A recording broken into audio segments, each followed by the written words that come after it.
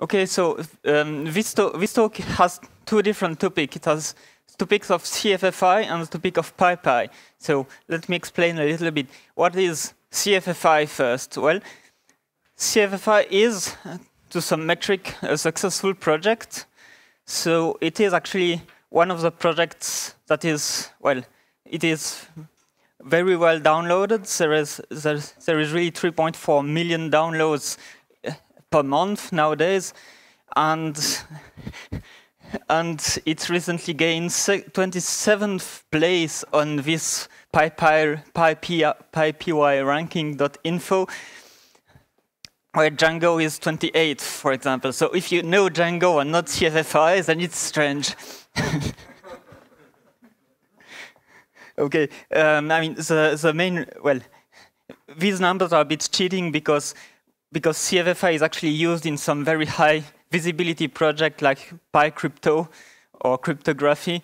So it means whenever anybody downloads PyCrypto, he, well, he also she or he or she also downloads CFFI. So the counters grow like this.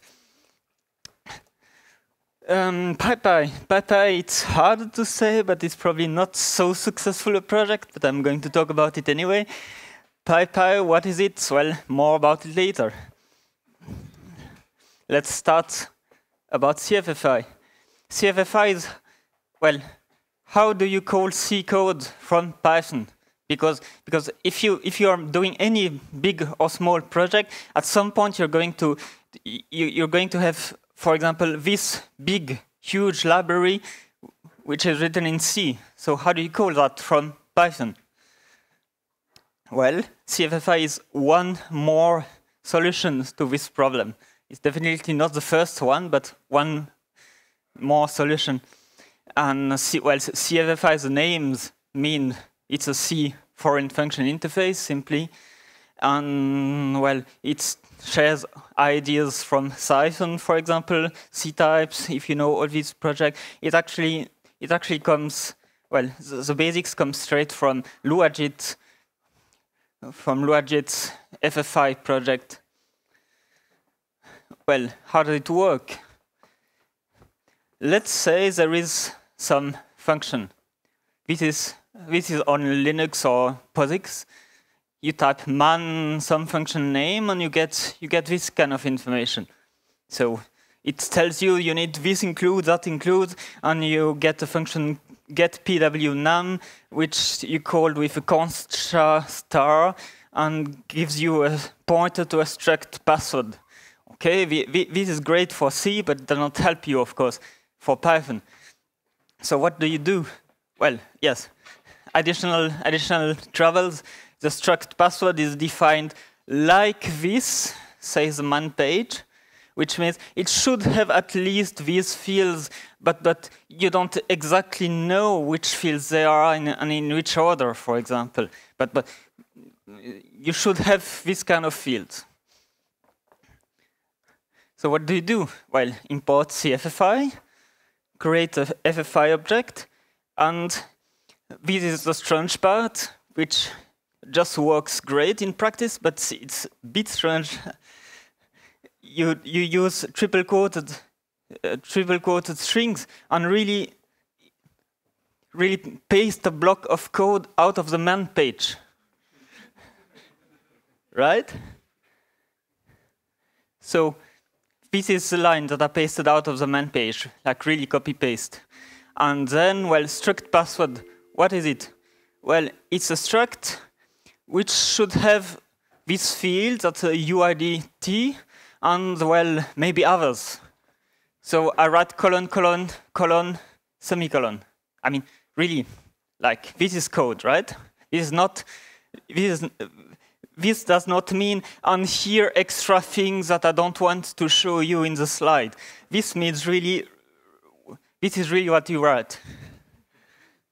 And UIDT, what is it? Well, it's uh, some kind of integer type. You don't know exactly which width.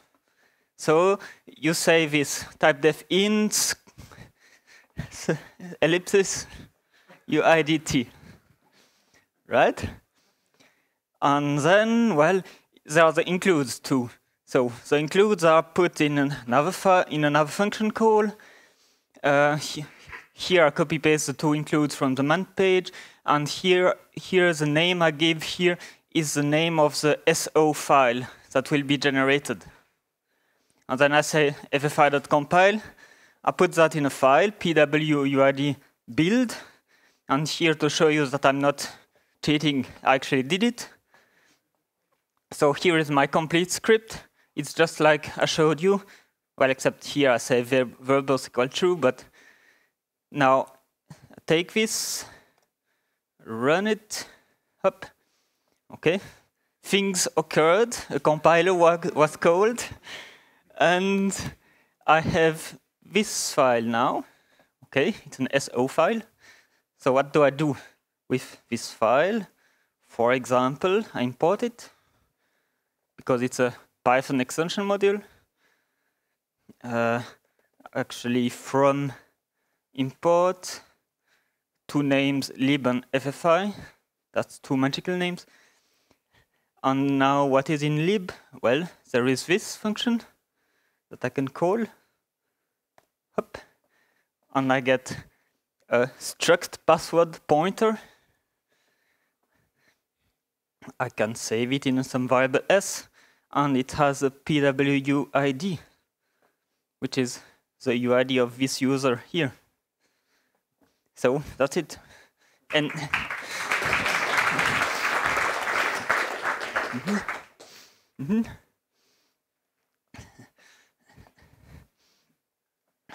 So, yes, so this is just repeating what I showed.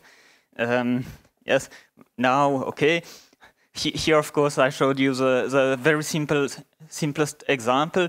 Now, now you actually have, you actually import FFI and lib, which are two objects. Lib is the object on which you have all the functions that you declared, like uh, get pwnam and all functions. But FFI is a small object which has an API, some, some kind of minimal interface. And well, th that's because well, we're still writing Python, so the, the match between Python and C is not perfect, of course. So, so sometimes you need to call some functions from FFI. So for example, let's come back here. Here I have my FFI object. What if I want to make a struct password fill it with some values, and then call a function. So what I would do in this case is new, ffi.new, and here, I mean here, keeping in the same style, I really put a string that is a C type. Okay, so I get a new struct password, and I can start to to fill it, and so on. You can fill values. And, and then if I had an, another function which would take a struct, a struct of this kind as argument, then I could pass it this variable s. Hmm. Uh, yes, and then, well, here, here of course, again, here I showed you the, the simplest things, but the more in practice you have you, you, need you, you, need to learn a little bit more. Like for example, this is how you would access a very little windowing system. So so uh, this is this is for the case where the the man page or whatever documentation tells you that the that well all you're manipulating are pointers are window star where window is some opaque type from C, for example. So for example, for opaque types, you use type def colon colon colon, which really means I don't know what is in window. Mm -hmm. uh, here are some more examples about ffi.new. For example, you can also do new of an array, and then you get my p, which is a char array. Uh, you can give default values, like the, second argument to ffi.new, some string in this case. Uh, I could also here, I could actually give it as keyword argument, for example. No, I cannot? Ah, yeah, sorry.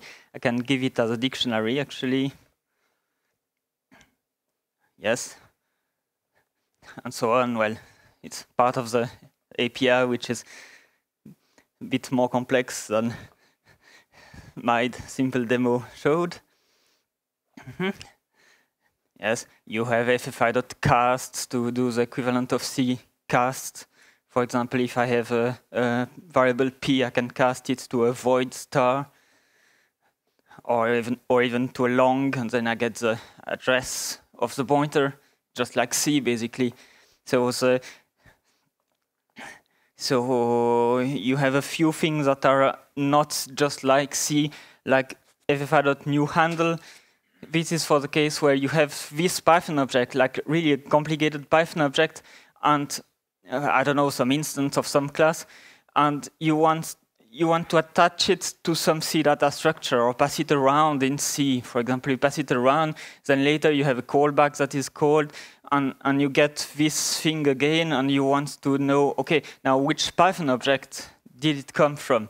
So to do that, you use ffi.new handle, you pass some object, which is really some random Python object, and it turns it into a void star, and then you pass the void star around, and when you get the void star again, for example, from, from stored in some structure, whatever, you use ffi.from handle, which, which reveals again what was the original object. Hmm.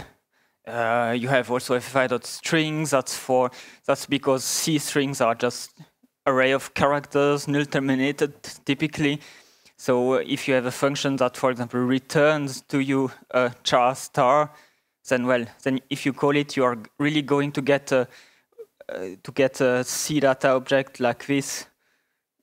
Sorry, like this, the C data char star. And then if you really want to interpret this char star as a null terminated string, then you call ffi.string, like here.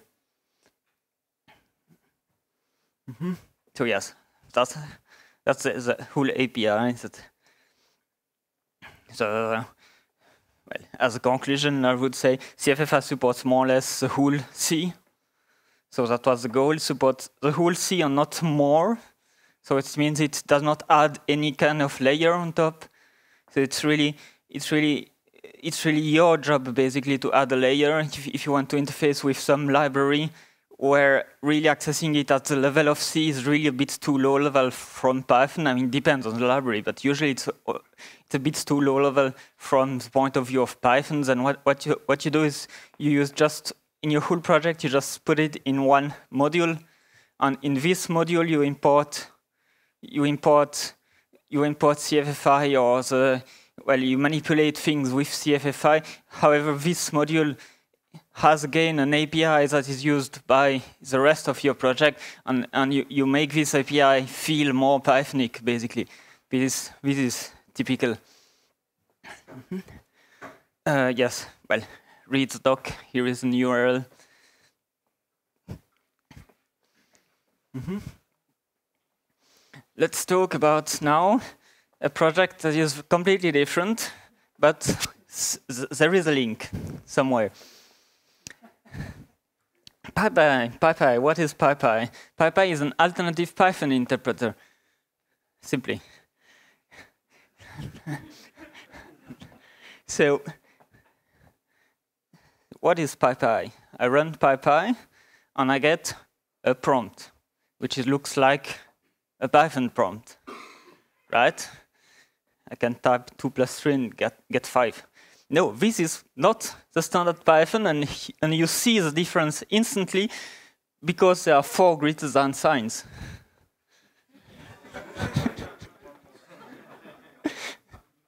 see, the, the prompt is different.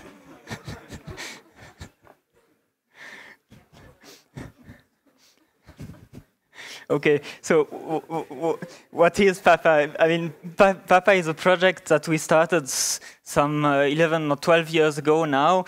And well, it's a Python that is rewritten completely in Python. So unlike C Python, I mean, C Python is a standard Python, and it's called C Python because it's written in C. And, and well, unlike this project, we wrote PyPy in Python, And we, well, we wrote it at a more abstract level, if you want, and with the main goal of speed.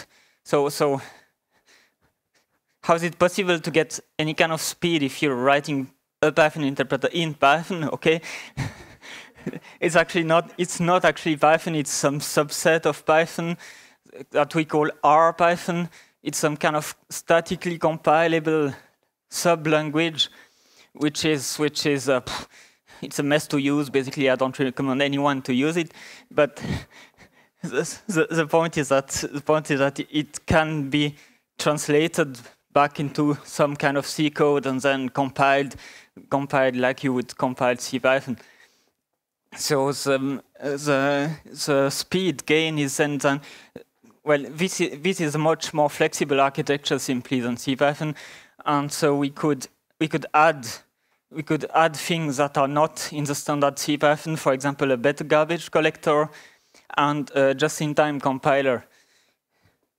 So, okay, you saw this. Mm -hmm. Yep.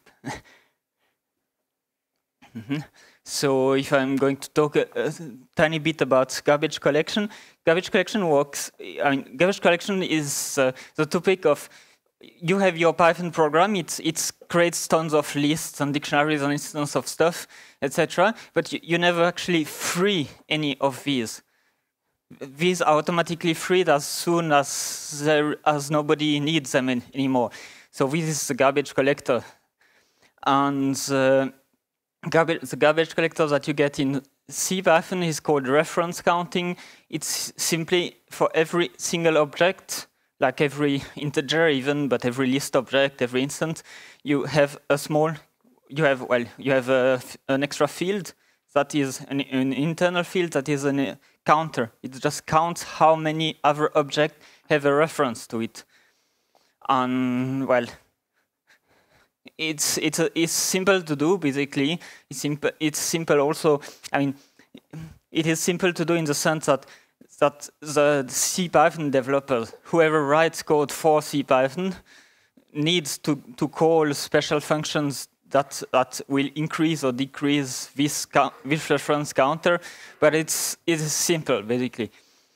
Um, this is this is an example of things where we don't worry about it in R Python, so inside PyPy. We don't worry at, at all about the memory management, and the memory management is inserted automatically when we translate the R Python code to C. So by doing this, we can actually we can we could actually play around and try to see if reference counting was really best or if these alternatives were better and so on. And we we we found well this is our current garbage collector which works really great and is probably better than reference counting definitely. So so okay, these are all technical words which well I don't want to go into, basically.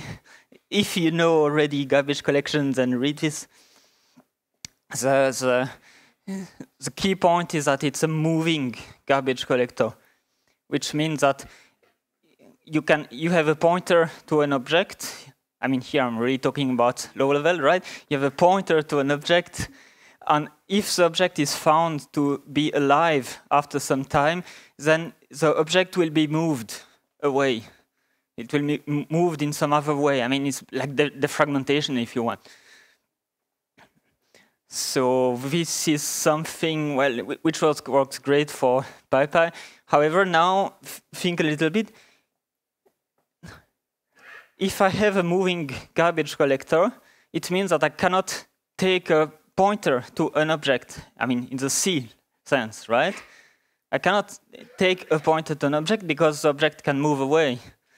So, so it means that, well, PyPy is great, yes, use it, but the problem is that all the CPython C extension module, so all the C code that is there, that is used by Python, Python project, well, what do we do?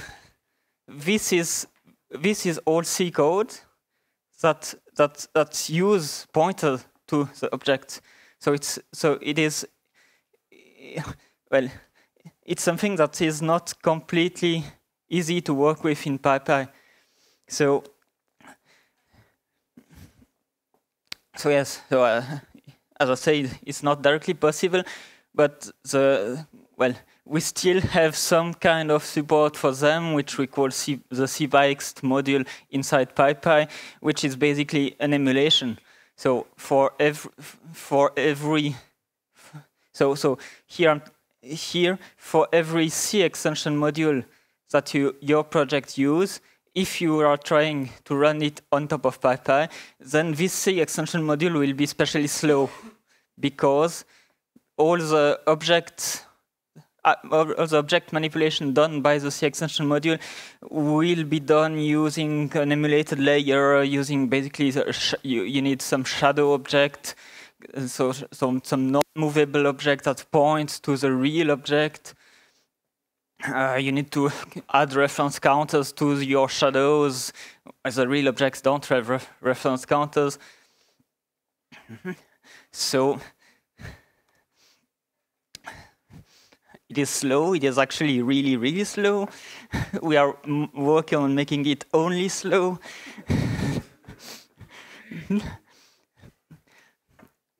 uh, it often works with enough quotes. So, so there are some high-profile C extension modules that are not actually supported so far. Uh, the most well-known is probably NumPy. So anything that depends on NumPy does not work on PyPy right now. It's future work. Okay, but well, if well, here, here I describe negative points of PyPy, but but actually there are there are positive points. Like if you have if you have if you have any Python program that really use essentially only Python code, then it's just great. And by great, I mean, I mean, uh, uh, I could, yep, yep, no, sorry. yes, uh, I just wanted to, to, to, to mention there's a kind of speed up that you can get by running your Python code on PyPy instead of CPython is between two times and 10 times, right? So you have this existing, I mean, basically try it out. If you have some large or small Python project which runs for at least a few seconds, but maybe hours, well, run it on top of PyPy and see that it's usually much faster. And uh, an example of typical area where, where it actually works very nicely is, is a web service area because, because this is, this is a, a domain where typically we don't use a lot of C extension modules. Like you use request and then all of Django and, and this is piles and piles of pure Python code. So, so it works really, really well.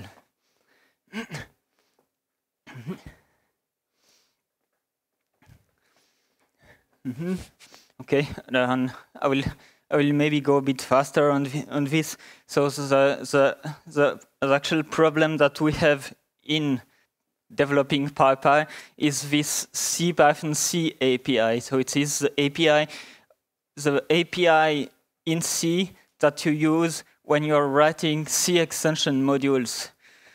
Uh, this is a huge API. It has a very large number of functions, assumes objects don't move, as I said, on the reference counting model.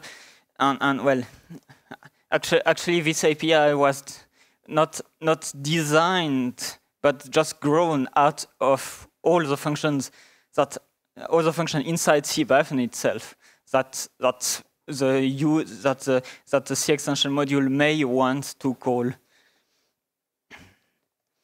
Mm-hmm. So, well, it is actually, well, it is actually easy to use from C codes. Well, it's large and, well, you have tons of functions, okay, but once you get into that, it is a, a relatively simple kind of API to use. And it was historically, I should add, it was part of the success of Python itself. So Python would not be there if, if the only thing you could do with Python is run Python code. Mm -hmm. Yes, and, and then well, you have other tools that are built on top of sorry other tools that are built on top of this API, like Swig and Cython, and other binding generators, so-called, and, and precisely now CFFI, as I as I showed. So why did why did I build CFFI basically? Then the point is CFFI is a bit different because it does not expose any part of all this large C API. If, for, if, for example, you're writing a C extension module using using Cython, for example, then you would, yes, Cython is nice at hiding the simplest things, but if you want to go a bit deeper, then you're going to call C function from the C API as well. So this is, uh, this is very different in CFFI. CFFI is designed to, well, the goal of CFFI is to call C. That's it, basically. So everything is done with a minimal API, and the minimal API is close to C. And there is there are no leaks. Like you can also call this C function. So that means that means that this CFFI module can be ported. By ported, I mean that yes, I've shown I've shown you this. This I can run on top of Python, but I can also run it on top of C on PyPy. And it, okay, it's a slightly older version. Sorry, it does not accept the verbose argument. Okay. And, and that's it, basically. Import lib, from, sorry. Yes, and, well, exactly the same thing. So, so so it works out of the box on top of CPython or PyPy. So, so uh, this is the link between my two my two parts of the presentation. It's that you have on the one hand PyPy, which is great, etc., but it has problems in one specific domain. So what did we do? Well, we we we did an, an alternative to that domain, which is called CFFI. And now I'm also making publicity. Please use CFFI, of course, but I'm also making it because, because I think it's, it's just easier to use, simply, even if you're only using CPython. Mm -hmm. Yep, so we, we do have a version of, of CFFI on top of PyPy, and then it turns out that, well, CF, I mean, I, I vaguely, I, I very quickly mentioned that PyPy contains a just-in-time compiler, which is which is something you may know about, for example, Java. Well, what, what it means is that it's fast, basically, and how it is fast is by by taking some part of your Python program and looking at it very carefully and turning it into really machine code that is doing the same thing. So so CFFI is also very fast on PyPy because something that looks like a CFFI function call, when the JIT compiler looks at it and turns it into machine code, the machine code inside will really contain a call to the C function directly. So it's just as fast as it can possibly be. Mm -hmm. Yes, so that, that's, that's just to say CFFI is great also for speed on PyPy. Now, now if you're using CFFI on CPython, then, well, it's not so fast, but then what is fast on CPython? yes, uh, well, I mean, it's not that slow on CPython as well, right? you can use it. Yep, yes, so, so was ported to CPython, to PyPy, and uh, it could be ported to other Python implementation because, I mean, in case you don't know it's are some some less well-known Python implementations that work. For example, on Java, there is Jython. On, on .NET, there is Iron Python.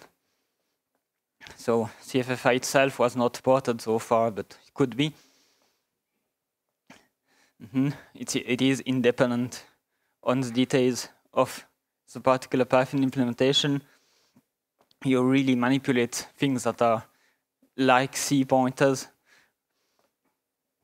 Mm -hmm. You do all the Python logic in in way in Python. Basically, you write Python code, normal Python code around this C pointer object, and, and, and there are no ways to, to actually access the C Python C API. And as far as I can tell, you don't need them. Mm -hmm. Yep. So you have two reasons to switch to CFFI. It's easy and cool, and it's better supported by non-CPython implementations. Yep. Ah, uh, yes. This is just an add-on slide.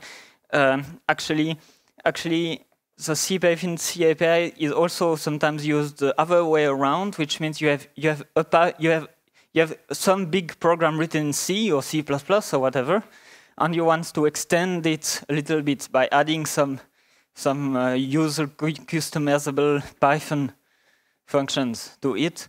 Then that's that is called embedding, and the latest news of CFFI is that now CFFI also supports embedding.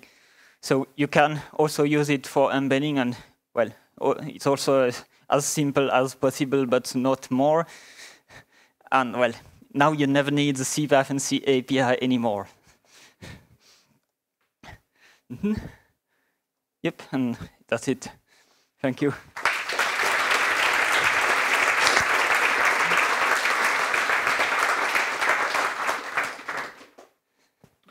Questions? Please. So this is probably pretty crazy, but I'm uh, using PyQt, which has SIP as a C interface generator, mm -hmm. their own thing. Mm -hmm. And I'm wondering, do you have any idea how hard it would be to generate um, C code which works better with PyPy, so the CFFI yeah. kind of thing? Y yes, well, it would be great if you would use CFFI. Uh, it's a bit it's a bit all I can say. I mean, it's it's it's hard basically to to to to support all these other binding generators because because all these other binding gener generators are really about here I'm going to generate C code that co contains that is full of calls to the C API. Mm. So I, I don't know basically. Well, if if you have a lot of time then port it to CFFI. I know it's not a solution, but well, that's that's a bit that's a bit as best as I can tell. Mm -hmm. uh, does CFFI uh, can it do bindings for C++ code? Uh, no, explicitly okay. not. So that means that you need to well, you need to first do your binding in C Mm -hmm. You write C code that is binding to the C++, and then you bind to the C code. I see. so I guess I'll have to stay with C Python for now. Yeah, yeah probably. Thank you. Mm -hmm. Mm -hmm. Yes. Well, well, it, it can be also generated automatically, right? yes. Uh, C++ is a bit is well is a very large large language by itself, so it would add a lot and a lot and a lot of complexity to CFFI. So that's why I decided not to go there, simply. I have a question about uh, if a library allocates on the heap, how do you make sure it gets freed to the memory? right. Uh, well, if it depends. Basically, the answer is um, if the library itself allocates, then, then well, the, uh, then how did it how did it get freed? Yes, good question. But you need to ask the same question if you are a C user of the library, right? Yeah, but uh, as a C user, I'm used to have to free the memory. As a Python user, I'm not used to that. So uh, yes, so you you will get leaks if you don't actually free. I mean, if the library really allocates and returns to you a pointer to something that must be freed, then then at some point you need to call free, simply. And, and okay, okay, there is actually an, uh, a bit of help in the FFI module that is called GC, and you so uh, here you would do something like that, and it would wrap the pointer p and give you another pointer that is the same pointer from the C point of view, but p2 itself has a de deallocator attached to it. So as soon as P2 goes out of scope from the Python point of view, then the deallocator gets called. So uh, that's Thank sometimes you. a good solution. Mm -hmm.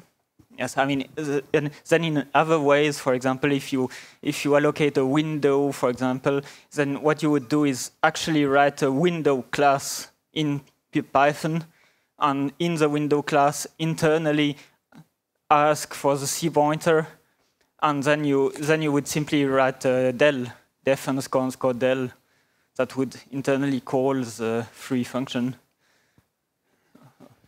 For Hi. example. Um, um, so I'm a biologist, and um, I'm not a very good Python programmer. I can Um, start by saying that. s- Sorry, a bit louder. Oh, hello. Oh, there we go. Um, so I'm a biologist, and I'm not the best Python programmer.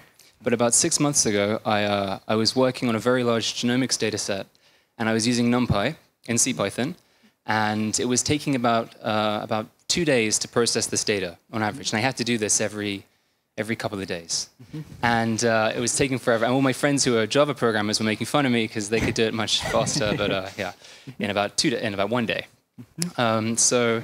Uh, So what I did is I I, um, I found out about CFFI, and I, all I did was replace the NumPy array with uh, a CFFI C struct array. C, C arrays. I C array, yeah. Yes. And that was uh, and I don't know any C, and this is the only is a two-line change, and uh, my program was about a thousand times faster. and uh, I, I don't think you. Uh, yeah. I don't think you uh, highlighted just how crazy, crazy fast uh, using raw C is. Then I ran it on PyPy, uh, and it was another four times faster, and so now it's 4,000 times faster. and um, obviously, it's way faster than Java, which is great for me. obviously, the best thing is that I, I finished my work that I planned to have done on Friday. I finished on Tuesday, which allowed to come to this event. So actually, I have to thank you very much.